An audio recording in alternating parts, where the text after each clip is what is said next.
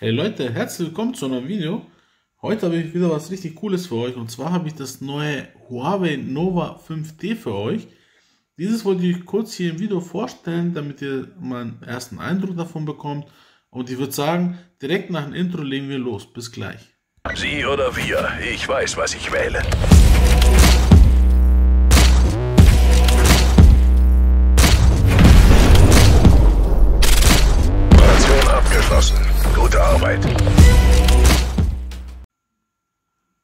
So, willkommen zurück. Ja, das Nova 5T soll ja dem Huawei Honor 20 sehr ähneln oder auch gleich sein. Da ich das aber nicht kenne, vom Hören her ja, aber ich hatte es noch nie in der Hand, zählt das für mich hier als neues Huawei Smartphone und so möchte ich das auch hier euch zeigen und präsentieren. Ja, gucken wir uns an, was hier so im Lieferumfang dabei ist. Das ist einmal hier die Verpackung. Ich habe schon mal alles hier rausgeholt. Wir haben hier ein Supercharge Netzteil von Huawei. Mit dem lässt sich das Smartphone innerhalb von 30 Minuten bis zu 50% aufladen. Und das ist auf jeden Fall super, super schnell, wie ich finde. Dann haben wir hier ein Ladekabel und zwar ein USB Typ C. Das heißt, das Smartphone hat USB Typ C Anschluss zum Aufladen.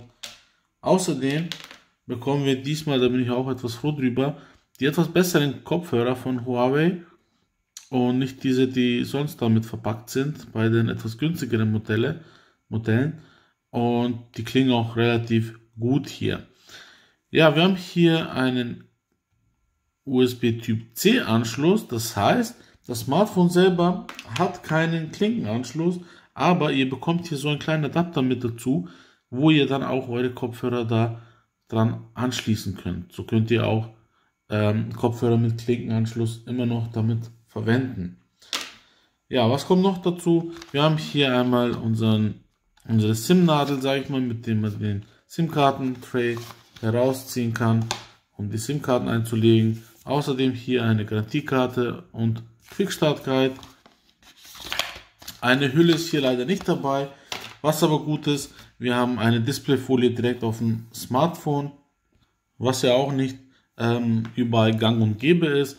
Hier haben wir jetzt unser Nova 5T, was auch wirklich sehr schick aussieht. Auch ist es sehr gut verarbeitet. Wir haben hier hinten auch Glas und ähm, dieses bringt auch einen richtig coolen Lichteffekt rein, wenn man das zum Beispiel Tageslicht äh, in der Sonne hält und es blendet auch extrem. Also kommt darauf an, welche Lichteinflüsse euch da auf die Rückseite draufstrahlen. Ja, man erkennt auch hier sofort, dass es ein Huawei Smartphone ist. Hier haben wir unsere Quad-Kameras drin, aber da kommen wir gleich noch näher drauf ein. Kommen wir vielleicht einmal hier kurz noch zu den Maßen. Wir haben hier eine Länge oder Höhe, je nachdem wie ihr es sehen möchtet, ähm, von 154 mm. Dann haben wir eine Breite von 73 und eine Tiefe von 7,8 mm, was auch sehr, sehr schlank ist. Das Ganze merkt ihr auch, wenn ihr in der Hand hält. Es passt auch super in der Hand.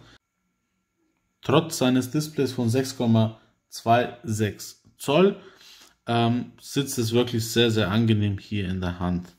Wir haben ein Gewicht von 174 Gramm, was auch sich in den Grenzen hält und auch angenehm zum Tragen ist, auch in der Hosentasche und auch hier in der Hand, wenn man länger damit telefoniert. Das Nova 5T gibt es auch in verschiedenen Farben, genauer gesagt drei Stück. Einmal haben wir hier Midsummer Purple, Black wie hier bei mir und Crush Blue.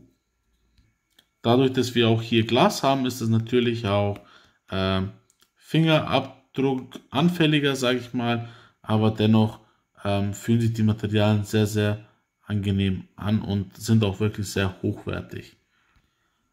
Schauen wir uns das Handy jetzt noch ein bisschen näher an. Wir haben hier auf der rechten Seite einen Fingerabdrucksensor. Daneben haben wir eine Lautstärkewippe.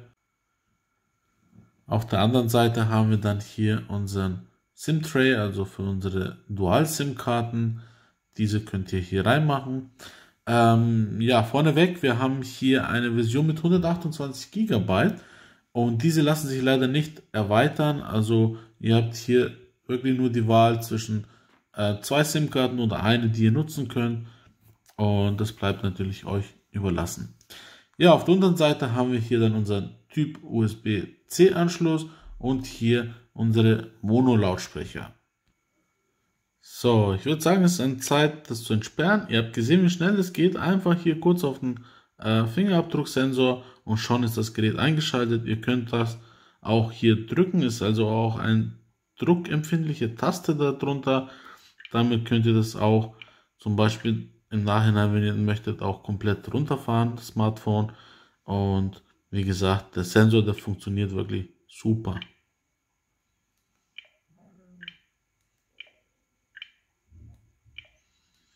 Einfach genial. Ähm, ja, wir haben hier unser großes Display, wie ihr hier sehen könnt.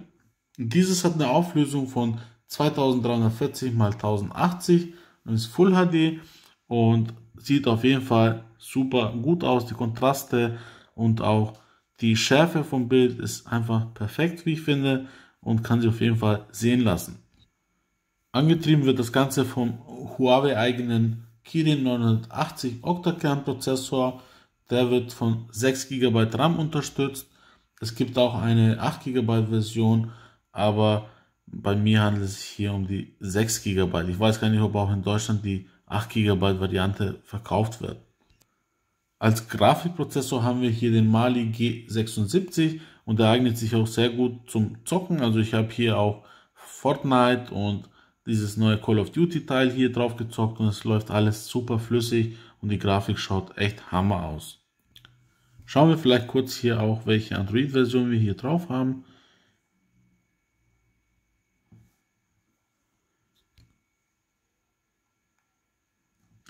Wie ihr hier unten sehen könnt, haben wir Android 9 drauf und MU, MUI Version 9.1.0 und das ist auch ziemlich aktuell natürlich.